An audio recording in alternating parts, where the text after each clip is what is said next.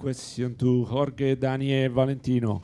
It should be a big honor also for you to uh, to have a, a corner uh, in your name. And which uh, would you like it be?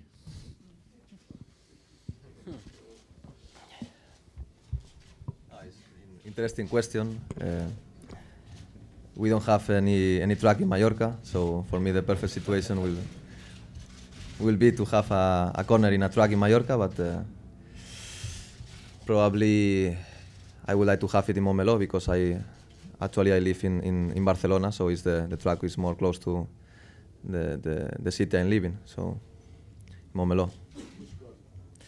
Which corner? Uh, the last one for sure not, because the last one no.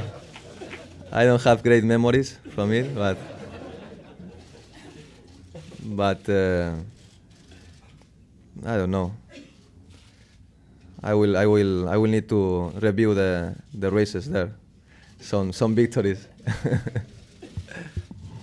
Dani?